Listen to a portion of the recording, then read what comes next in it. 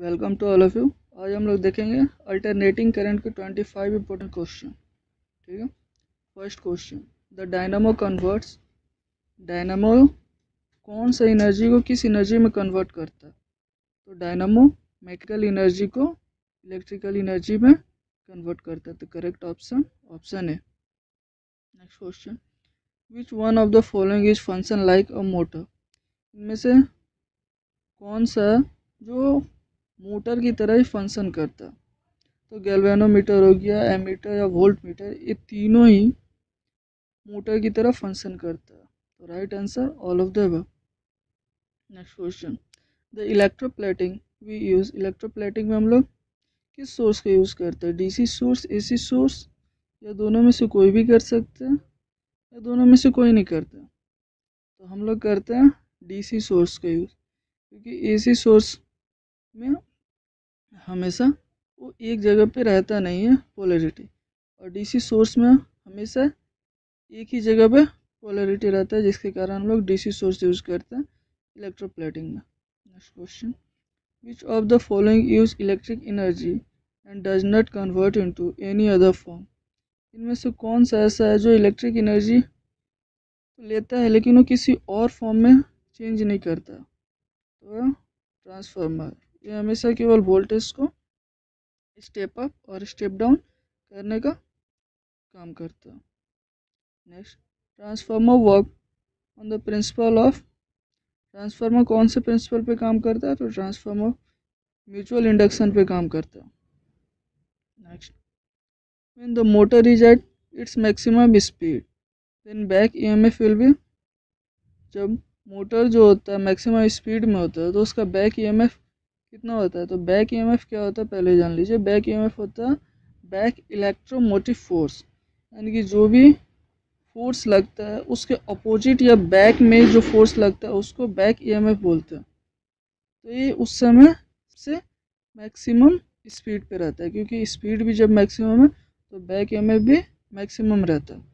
Next a changing magnetic flux produce around itself and included जब magnetic flux produce होता है तो अपने आसपास क्या इंट्रोड्यूस करता है तो इलेक्ट्रोमैग्नेटिक फोर्स अपने आसपास उत्पन्न करता। है next question and electromagnetic wave transport electromagnetic wave क्या ट्रांसपोर्ट करता? है तो वो एनर्जी ट्रांसपोर्ट करता। है ठीक है? क्योंकि मास हीट और मोमेंटम नहीं करता, वो क्या करता? है एनर्जी ट्रांसपोर्ट करता। है next question waves emitted from the antenna waves जो एंटीना के थ्रू आता, वो कौन सा वेव होता? तो होता है इलेक्ट्रोमैग्नेटिक वेव ठीक है? नेक्स्ट क्वेश्चन यहाँ pure resistor circuit the voltage and current current जो प्योर रेसिस्टर होता है, उसमें सर्किट में वोल्टेज और करंट क्या होता? है तो इन दोनों के बीच में कोई भी डिफरेंस नहीं होता। ठीक है? They have zero phase difference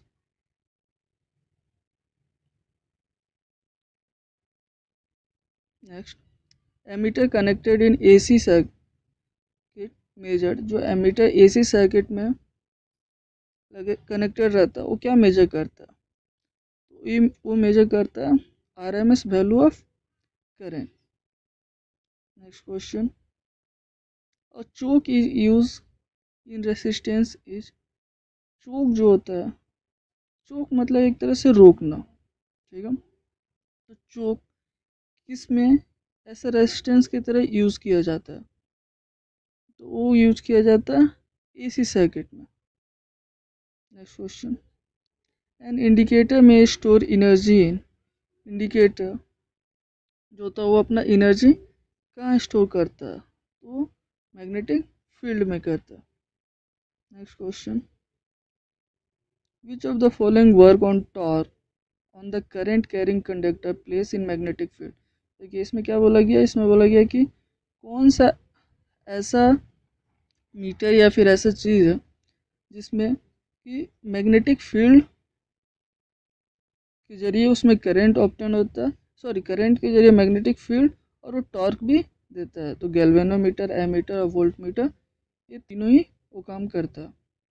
Next question self inductance of a coil depend upon तो सेल्फ इंडक्शन कॉइल जो होता है, वो करंट फॉलोइंग पे भी डिपेंड करता है नंबर ऑफ़ टर्म्स पे भी करता है वोल्टेज पे भी। तो right answer all of the above next question power loss in actual transformer is due to जो पावर लॉस होता है एक्चुअल ट्रांसफार्मर में, वो किसके कारण होता? तो होता है ईडी करंट या मैग्नेटिक हिस्ट्री एडी करंट यानी कि जो एक भंवर टाइप का बन जाता है, जिसके कारण उसका पावर लॉस होता है।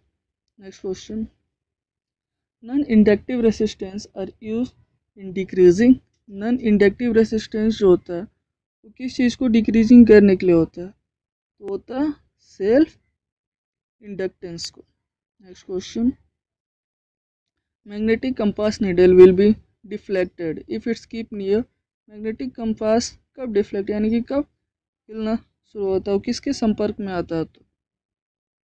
तो होता एक्सलरेटिंग चार्ज यानी कि कोई घूमता हुआ चार्ज के पास आता तब वो डिफ्लेक्ट करना शुरू हो जाता है। और ninety long distance transmission is easy for long distance transmission जो होता है, वो किसके थ्रू इजी होता है? तो वो एसी वोल्टेज के थ्रू ही ईजी होता है।